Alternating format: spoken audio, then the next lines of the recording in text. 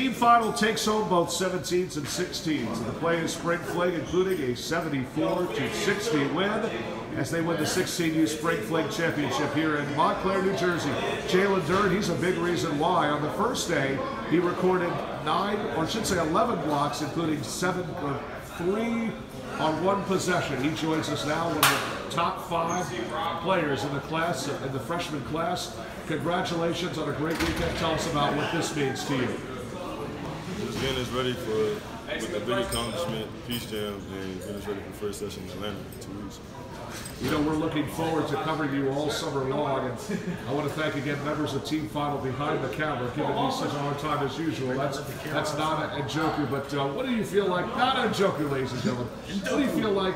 What do you feel like you learned here this weekend against playing against this type of competition? Um, just play hard, come out, come out hard, don't take no team light. Uh, do what we got to do and get it done. You, you didn't come alone, joined by Justice Williams as well, who's in your class. How much fun is it to play with, with someone like Justice? It's a lot of fun. Uh, just we, we, we connect well on the court, chemistry is through the roof, and uh, it's a lot of fun. Man. Point guard, point guard, combination. It's, it's, amazing. This PCL, uh, I guess you could say family, always sticks together, playing with guys like Deshaun Shepard and uh, Jalen Stinson and Nasser Diggins. How much fun do you have when you play on the court together? I mean, when It's good we- chemistry, right? Yeah, it's good chemistry. When we when we on separate teams, it's competitive. We come together as brothers. The guy who stuck his face in front of the camera, not Njoku, you play with, with him in that front court. The guards are certainly quick.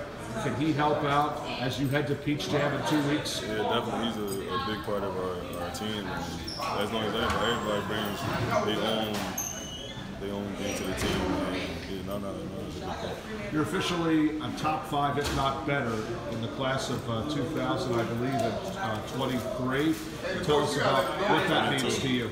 I mean, I'm in 22, but I, mean, I, don't really, I don't pay attention to the rankings. I just play hard and go out and do what I got to do to win basketball games. You can find you can find this man in Wilmington, Delaware, at the new Sixers Fieldhouse. Jalen Duren joins us here again in Montclair, New Jersey. We appreciate your time. We'll see you again Saturday. Jake Schwartz here again at the Spring Fling, a Players Basketball Club with National ranked player Jalen Duren.